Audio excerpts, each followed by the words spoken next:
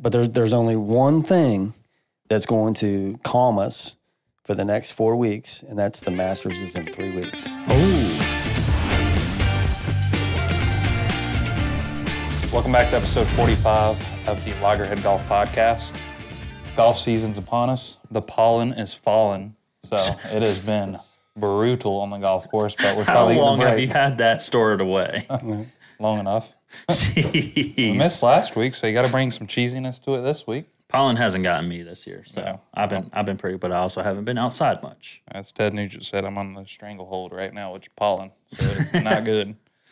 So uh, obviously, we had a fantastic Players Championship. So even though it was the quote unquote weakest field they've had since tournament, uh, Sunday was actually fun golf to watch. And the back nine we actually got to watch almost commercial free. The front nine, however, was pretty brutal. Who Playing broadcasted through- it again? NBC. It was NBC. yeah. It was NBC, but they did like the back nine almost. It was almost commercial free. They did a, quite a few playing through, but physical commercials were limited. I mean, they've got the money to not need They just commercials, so They I just mean, proved they it. could just do all that. But I thought I thought it was, you know, seeing the variety of shots, you know, and seeing different players from uh, you know every angle. I thought was uh, was excellent. I mean, it's a crazy concept. Us wanting to watch golf and Actual watching golf, not just putts. Yeah, Yeah, I mean, I watched all pretty much majority of Saturday's round, um, and then I watched all Sunday. And you know, you get through, and then, like that's the first thing. I know a lot of people are tweeting about like this co- this coverage is awesome, right? But if you're actually like into the tournament, you don't even realize that there was a commercial. So it's kudos to NBC for for providing an actual Right, entertainment, right. right? Um, but pretty unbelievable golf. yeah. I mean, Scottie Scheffler and Wyndham Clark two weeks in a row. Tied. I mean, well, I, First and second. first and second, and then Yeah. uh, first time ever in players' history back to back. Right? Yeah, Yeah, Yeah, I mean, I think before we get to Scottie Scheffler, because not enough can be said about him. Um, are we worried about Xander Schauffele? I mean, I think if you take him and Cam, well, Cam Young at least comes in second Well, he, Cam Young's only been on tour for three Yeah. years. Xander. Uh, Cam Young is not part of the top dogs I conversation. mean, why would you be worried about Xander? he can't close. I mean, he played. You know, granted, I mean, he played pretty well at the Valspar on Sunday. He again, he that's what he's closed with known a at flurry, backdoor but- top fives. But you know, saying that's they cash checks. They cash big I, checks. I don't trust me. Backdoor top fives pays a lot of money. It does. but I mean, I just thought, you know, the two shots that they both hit on on six, 17 was phenomenal. Oh yeah, You know, to you know, I can't believe no one else did. Right. No one else sniffed. No. But other than the first two groups that both guys birdied, Shane Lowry and somebody else, because Shane Lowry almost made a hole in one. They didn't have another birdie up until Wyndham Clark making birdie. But- Which for Wyndham Clark to go birdie on 16, birdie on 17, to have a chance to birdie to tie on 18. he had he had a half birdie on 18. Yeah. That ball was down. You know, but for Xander though, I mean, he left his eagle putt short. He he mishit the uh, birdie putt on on 17. Both their drives You know, on 15 were and- terrible. So, Swipey fades. but I just thought it was great because it was more than it was more than a two horse race. Yeah, I mean, Brian Harman. Storylines, yeah. Brian Harman, that that ball didn't have any curve on it. He was on a string all day. Um, stinks that he hit his worst tee ball of the day on 16. Well, if you notice, like even from well on 18, it was like from Thursday on, it just seemed like everybody was just blasting it into the into the pine straw. You know, it's like, well, I'm not even bringing that water into play. I'd much rather try to battle from the pine straw than anywhere else. You know, On which hole? 18, Uh, yeah, because it was just it was stupid, except for Wyndham Clark hitting a what four iron, Yeah. we'll get to that. four iron Because he had wedge. We'll get to that. I have, a, I, I have it. I have a hear me out. Actually, no, I'll just get out it. You already said it now. Yeah. It's All right, live. all right. Now hear me out. Um, I, I will take all the heat on this, especially from you, as we've gotten arguments. I'm all for rolling the ball back now. I I want to roll the ball back, and I want it to. I want to roll it back like twenty percent. It is. It should be illegal to go four iron wedge into eighteen at TPC Sawgrass. It should be illegal for that. That is that I played that hole. It's the most outrageous thing I've ever seen. Now, obviously, Wyndham Clark, he can hit that rope hook iron that goes a mile. Mm-hmm. But that hole is not designed for an iron wedge. I mean, Tiger's two iron that everybody talks about. He went two. He went stinger two iron, seven iron Right. into the hole, not wedge. So that poses the question: Has technology made hole eighteen? I mean, not one single player sniffed making a bogey, bogey coming down the stretch. When in the past of the Players Championships, if you're coming down the stretch, you're going to see one or two guys. It's either birdie or bust, and they're bust. The ball's in the water. Right. They made stress-free pars. That's not how that hole is supposed to be designed. Now, what's changed with that hole? Because this week it was soft. Correct. So Uh, roll the ball back. Uh, they should cut cut the pine trees down, put rough over there, and now you're seeing bogeys and double bogeys. Yeah. But I, I, I'm, I'm proud of you, you know, for for admitting on national air, you know, worldwide. You know, this is the worldwide. gave you heat. The internet. I gave you the heat. internet lives I gave you forever. heat. May have that said- I was correct. You know, we may may have cursed at you a little bit with, with your thoughts on on the A little ball bit. but, uh, A little bit. but no, I'm I'm I'm team roll the ball back. now. It's just uh, four iron wedge is just not fair on that golf hole. Nope. Or like we keep saying, make a golf course hard again. I mean, why as amateurs or everyday golfers do we get to play rough, you know, as far as like tighter fairways, the rough's a little taller, but every tour event they have to maintain Longer a, cer- a longer fairway, a shorter rough, and a certain green. So essentially, with the PGA Tour, what a lot of people don't know is yes, they do go to different green complexes, but there's a threshold on where the stimp has to be for that tournament. They send out pre inspections to like either dictate new tour events or to make sure that the course they're hosting the event still is in good shape. When they do that, there's a certain threshold the, the putting surface has to be. Mhm. So it's almost like what we were just talking about the, the putting aspect, the skill aspect. Some of it, I think, is being a little misconstrued because if the tour is managing every green complex to essentially play the same speed, like obviously slope and undulation is completely different, but the physical speed that's taking a little of the, the skill touch out of it. If there's now a new threshold that they're maintaining every course. But when we go play River Landing on Sunday, Castle Bay on a Thursday, go to Myrtle Beach on a Friday, we're not playing on the same surface. No, it was It's not uh, a 13 stimp everywhere you go. when I when I got into the golf business, I started on the uh, grounds crew at Innisbrook, and I was on the Copperhead course. And when the PGA Tour came through there, we actually had to get the Vibrotamp in the bunkers. You know, we had to. I mean, the what the PGA Tour does for those events with the grounds crew. I mean, it starts eight months ahead of time, and you are dictated on what you can and can't do. But every single bunker has to be the same consistency. You want to talk about four guys trying to hold up a Vibrotamp up a slope of uh, a bunker on 18 in the fairway or nine in the fairway. I mean, it was, but it's just stuff you have to do. Yeah. You well, know. well what a what a contrast of two weeks, right? Cause, Oh, yeah. Because what was the winning score at the Valspar this week? I think it's 12. Yeah, there's only one player or two players double digits under par. Yep. But you know, at the same time, too, you think about the two golf courses, and you know, TPC Sawgrass has you know all their areas around the green are basically short grass. Yeah, Where Valspar, it's you're on the green or you're in the rough. yeah, You one of the two, Or deep or, bunkers. or short. yeah. You know, there is no there is no runoff out there. You know, Yeah. everything there is is you can't miss the greens and uh, and get away with it like you can Mm-hmm. anywhere uh, at TPC Sawgrass. Now the best player in the world though, he's not missing greens. No, So when he shoots 64s and it looks pretty effortless. I want somebody to start a golf school and try to teach that swing to people. I want to see people out on the driving range on a Sunday trying to emulate Scottie Scheffler's golf swing. And I think it would be the most hilarious thing you can you've ever seen. I, I kid you not. I can't tell you how many lessons I've done where uh, where people come in. They're like, I just feel like I'm I'm swaying. Um, it's my favorite word in golf instruction, sway. Um, and they're like, my footwork just feels like Scottie Scheffler, and it feels terrible. And I'm like, Mm. I'm like, did did you hear what you just said? Because it's the best golfer in the world playing this. I would say third best golf of all time statistically. Yep. Um, and you're saying his footwork is bad? I wonder if like I wonder if Rory McIlroy goes like to the drive range at night and tries to do like a shooter McGavin, you know, Yeah, shooter. in the uh, Start walking in the woods. I mean, it's uh, it's.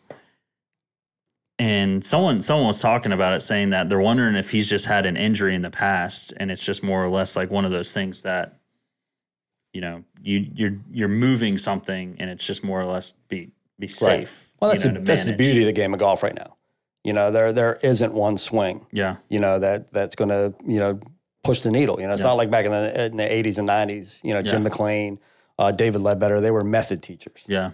You know, and it didn't matter your body type, it didn't matter your skill set. I'm teaching you, the same you, swing. You put the club no here, what. you put Yep. it here, and Yep. and trust me, there's part of it. It's very easy for me as an instructor to kind of get into those those spells where I feel like I'm giving the same lesson to different people because there is very important positions you have to put the club to be successful. Correct. Um, we talk about it with you with your backswing when I help you with your backswing all the time. But I'm an athlete, though. I yeah, can do yeah, that. You know, yeah. so But it's more or less just like I I what did Tiger always say? If he had what if if he still has what he will he can still play his best golf. I have no clue. I mean, He said all the time, if I can still if I still have my hands and if my hands are still in my golf swing, I can play I can compete anywhere. Scottie Scheffler, what is his club what what does his golf swing come down to? Because there's no stick my body, be still, position the club. It's great hands. moment of impact. Yeah, Moment I of mean, ham- impact. You're able to save it with your hands. Yep. That's what the best golfers do. And there's there that's a little bit of the athleticism to the golf swing that there's there's hands involved. Not everything is just perfect and hold it. Well, you'll see it this week when they, they all go to Houston, right? Or is it? It's Houston that they're at this week, right?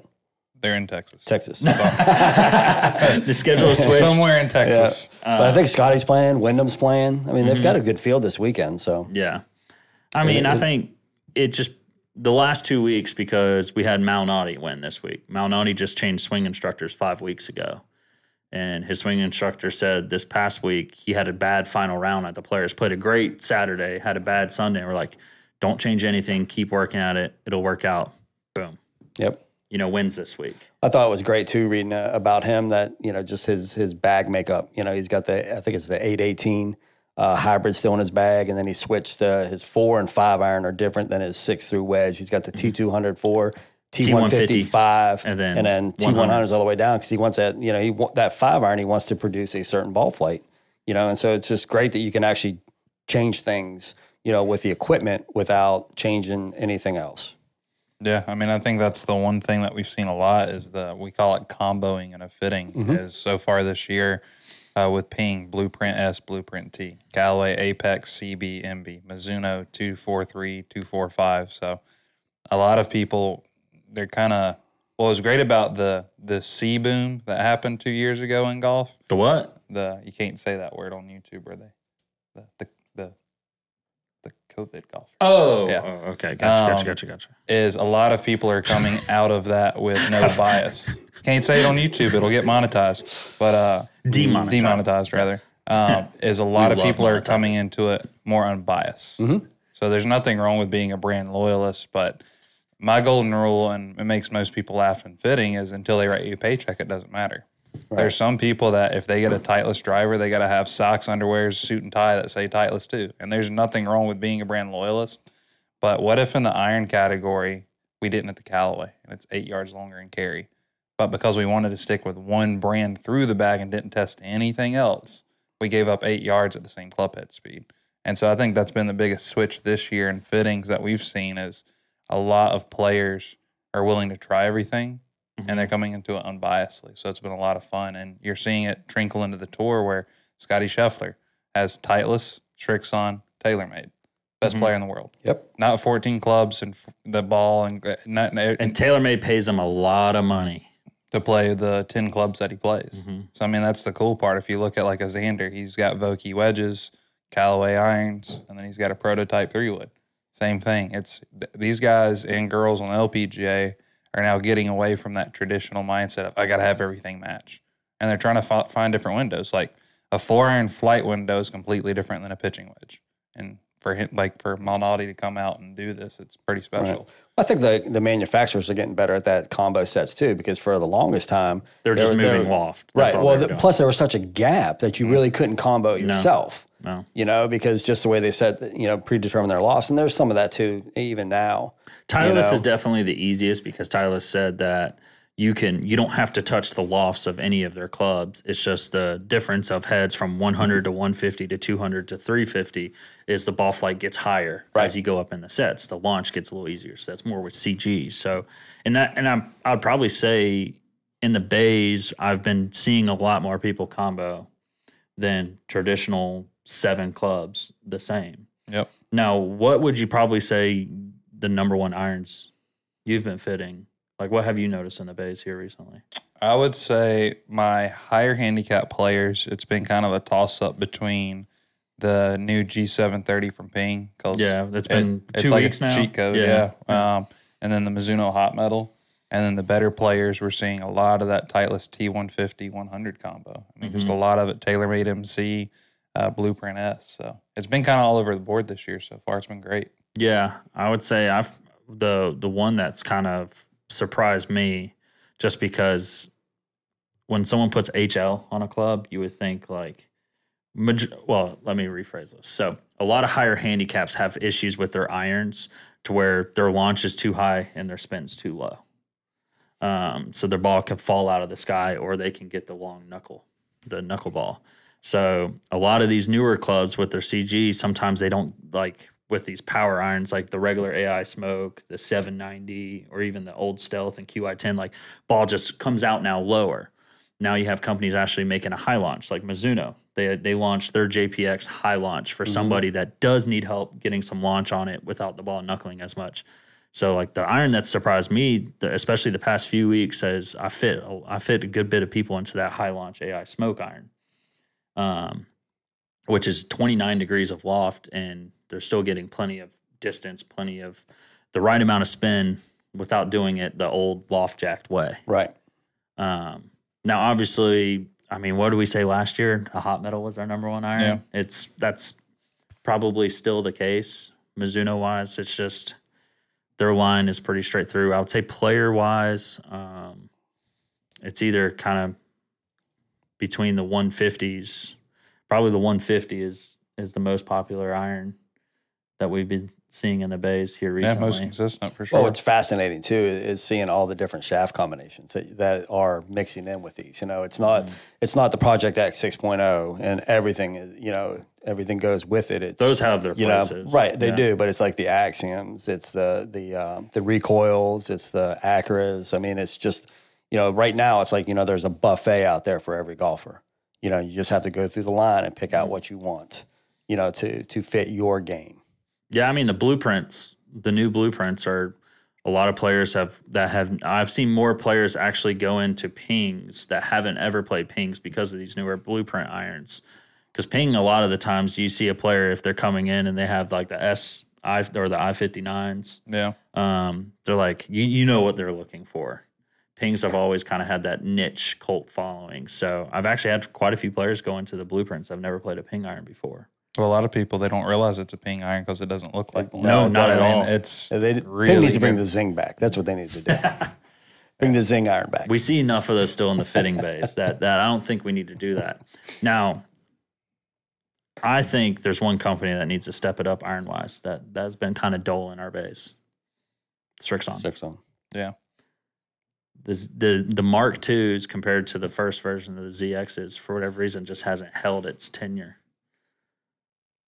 Well, they made them in black. Oh, that's a Yeah. good point. They they're trying. When do you- I mean I could probably see a new iron on the horizon for them. Yeah, I mean it's time. It's two. They're two year life cycle, so Mhm. it's hard to believe we're on that second year life cycle uh, Well, it's already. just you know, it feels like yesterday Ping came out with the 425s. yeah, it's been five years. Yeah. it's crazy. Well, some things, you know, I guess it's Srixon in Cleveland. Cleveland, on they redid their whole launcher line this year. So Yeah, next which year's the, the Srixon Woods line. So it's, it's if you to want a forgiving driver, yeah. So I think it, from a company standpoint, it's like okay, you know, let's shift their focus to this segment of the golf business. Mm-hmm. You know, everything is not always about the the single digit, you know, um, ball strikers.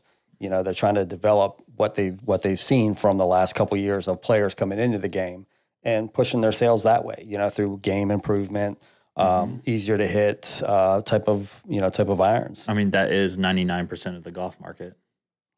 Ninety nine point five probably. Yeah, I, But I mean, that's where so a company can't do it all at one time. You know, it's no different than Mizuno. Mizuno doesn't come out with the the hot metal line and the, the Pro Series, they always alternate years. alternate alternate back and forth. So, you know, and and sometimes though you do have to decide what kind of company are you. You know, are you a are you a Titleist only to where you know the was it the T three hundred is there is there 350. three fifty is their game improvement iron, but that's as far as they go, and then they work their way down. I mean, I wouldn't be surprised if Titleist does come out with a, like a 450 because remember they had the they have 400s that they giant came hybrid out. iron yeah, thing. yeah, and that's but that's also part of it too, right? What Mm-hmm. was Cleveland Lunch always known for? The hybrid irons. Yep. Um, now you have other companies that've kind of done it. You know, Cobra that does the T rails. You have Tor so- Edge with hot launch. hot launch. It's it makes it to where there's plenty of options, but they're still kind of like it's it's easy for us fitting wise because there's still distinct difference of Yeah. groups within the irons. Cleveland had a great players iron back in the 90s. Mm-hmm. You know, when they had the the, uh, Tour launcher action? driver, yeah, the tour action was a great line. Um, you know, from from Cleveland, but I think Cleveland is known for this. Srixon is known for that, and they're all under the same umbrella. Yeah. Yeah, excuse So- me. But I, I I was just thinking that the the ZX series this might be time for a little bit of a revamp. Could be. Catch up with the big dogs. Uh, They will though. I mean- mean, it'll cycle through. Yeah. Well, cool. Well, with Peter Malnati winning this week, what else did he do this week or at the start of the Oh, week? we didn't even talk about that. Yeah, Completely so- forgot about that. So kind of interesting. The guy that was involved in what we're getting ready to talk about also won. So kind of coincidence there, maybe. Well, I'm just glad he won because Yeah. it opens up a sponsor's exemption for somebody else that's not on the board. Yeah. Unless they have another board member that doesn't get in, then Yeah. Um I think it's pretty I think it's I think it's cool. Obviously his game has trended. Like even though he's gotten sponsored exemptions into these elevated events, he's performed. he has performed. Yes, Right. So he's made the most of them. It's, the not yellow- like he's Adam Scott where he's missing the cut. it's a yellow ball. Um uh I, I still like I showed you the the the meme yesterday of of uh, Peter Malnati going back to uh, the uh, uh, PIF and being like my my offer yesterday is different today. Yeah. that day's in the past. What's my new offer? Um, what do you guys think of that meeting? yeah. So Tiger and uh, All player advisory board. So how do you say his name? Adam Scott. Yasser. Yeah. Yeah. Whatever his name is. They they all had a uh, a golf day in the Bahamas. Well, I thought it was just Tiger and him that played. No, and I thought all everybody them, else they, joined. No, they Webb Simpson, all of them went out there with him. Well, it was nice to see that they're you know they're they're climate uh, friendly people too with all the yachts and planes that arrived. But Yeah, but I digress. But no, I thought I thought it was it was interesting that you know that they hosted him.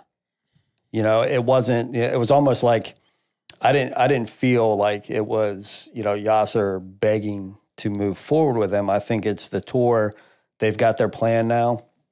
And it's like, well, here, let's let's Well- bring him in versus, hey, come to Saudi Arabia. I want to talk Well, to you Well, Jordan. Spieth said it. This this should have happened two years ago instead of closing it off two years ago, Mhm. where Jay Monahan said he wouldn't give the guy a time of day, and then randomly pops out of nowhere without telling anybody that there was a merger. To now, we're hosting him, you know, trying to keep him in good graces in the circle because it's I, I hope everybody understands that the PGA Tour is now 100% a business.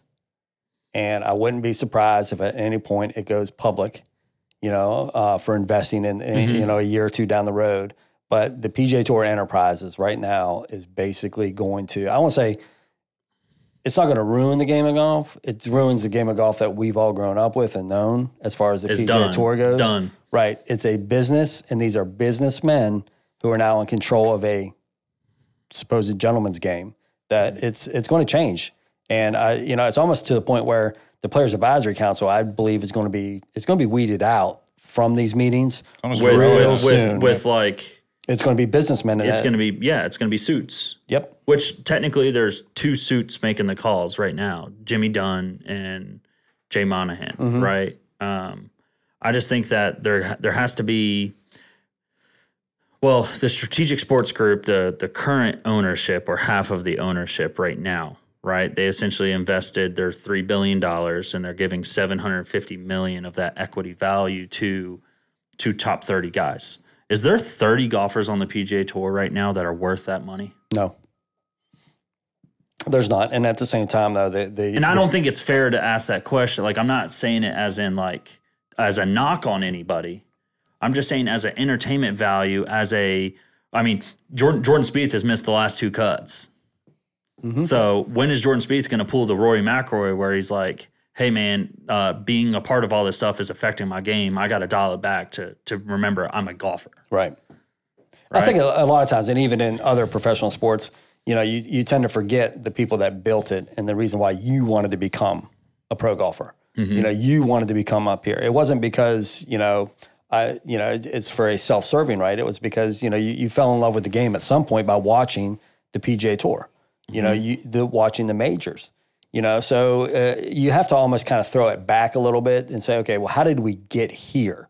You know, and if anything, you just give Tiger the seven hundred and fifty million dollars because he's the only one that ever. I mean, you know, truly, he's- moved the needle in the last thirty He years. is the needle. He is the needle. Yep. I mean, it goes without saying. I mean, obviously, the number one player in the world right now really couldn't care less, right? Like, he hasn't been too vocal about what's going on. No, He's essentially said, I'm playing in these tournaments. I'm here. If you're not here, you chose not to be here. So, I think I think you're going to see a, a huge disruption in the game. I think it's going to change uh, dramatically over the next in the within two years. And the reason why I say that is because again, these guys that put the money in, they they didn't do it because they they love Rory McIlroy And they love the history of right. golf. No, they're businessmen. they're making, I they get, they invested have to make money. I want my money back. Now, who doesn't have to make money? uh, PIF. uh, well, I mean, well, let's just say like the the the scale is a little different, Yeah. but PIF makes money when they sleep. true. So, you know, I mean, that, that's something that'll always be there. But they, again, the minute you start going down this road, I, I think it's going to be a, uh, there, there's a lot of, I'm just there's a lot of things to be determined. I'm just kind of laughing at the whole situation on how like it's like, well, yeah, it makes sense. It's good that they're finally meeting them. It's like, well, two years ago, you you the media and the PGA Tour made a staunch stance comparing PIF to a terrorist organization. so did we just forget about that? Did, but I'm going to uh, throw something out to you. Not to get too political here, but what did you see Sunday watching the Valspar on 18? What did you see there? You saw a ton of empty skybox seats. You saw a ton of people not going to this.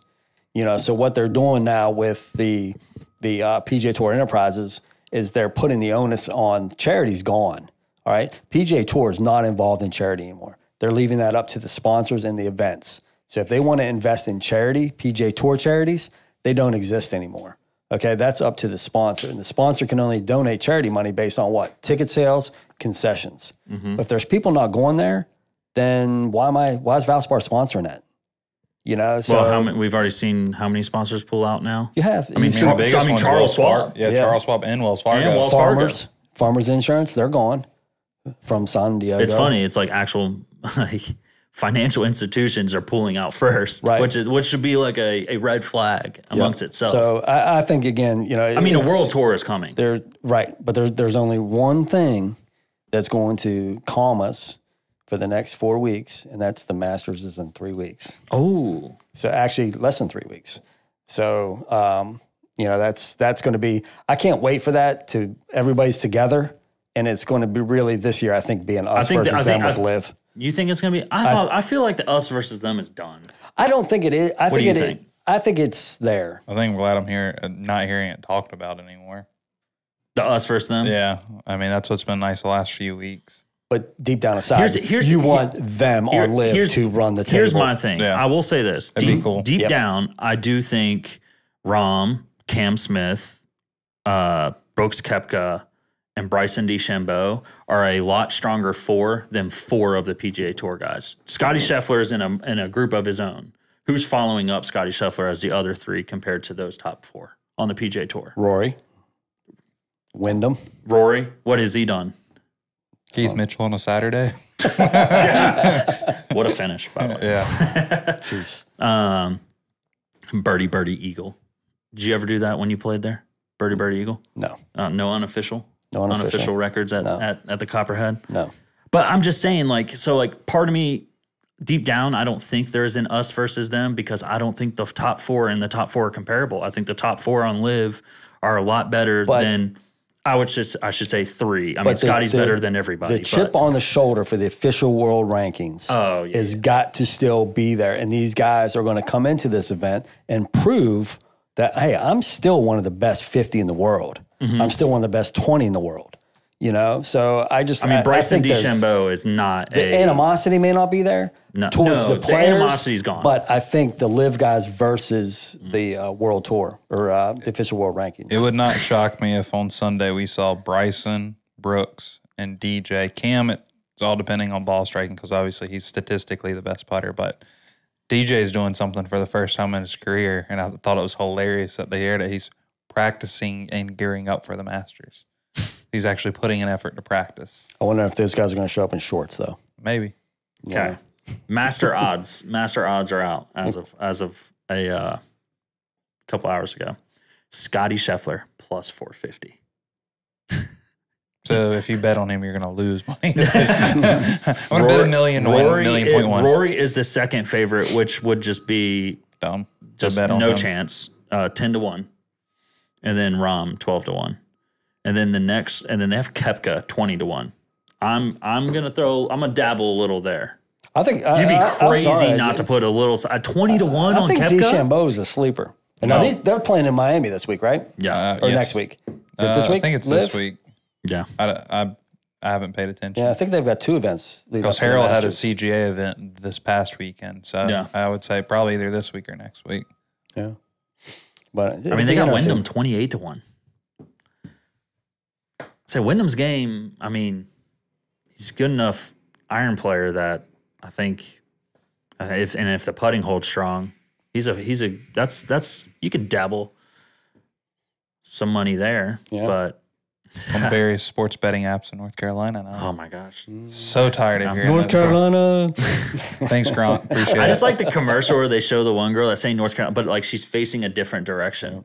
I'm just like, Is she, what- were you talking to me or what's talking going to somebody on? else? Where's where, is there a TV over there? Um, and then Gronkowski yelling at me. Yep.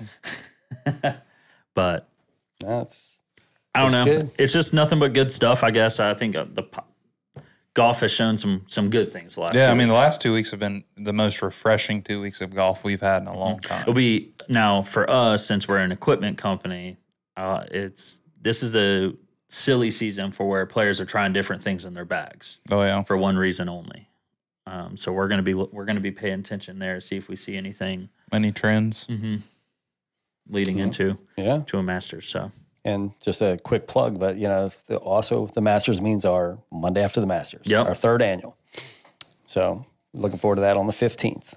yep, Well, perfect. Well, obviously we're in March, so March Madness is in full full spring. We're down to what Sweet Sixteen. Roll Sweet Tide. sixteen, roll tide. Yeah, that's Tide. right.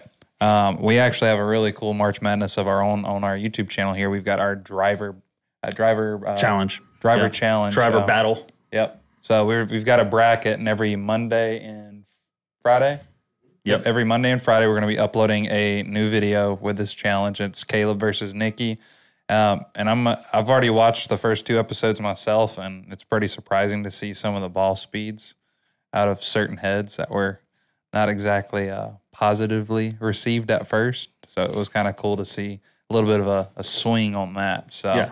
be sure you guys tune in for that. Yeah, and to be fair, this isn't a this this isn't a driver test driver test to see which driver's better.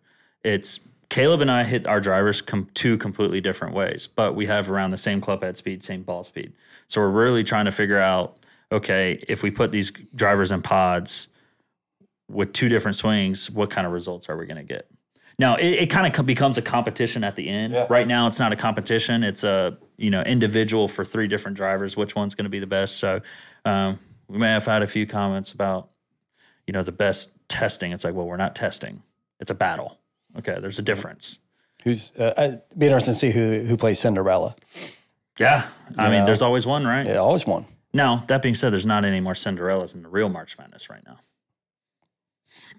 Cream's rise, No. rise to the top, rose to the top. It's getting there. Yeah, but uh, I I forgot about them. Roll Tide.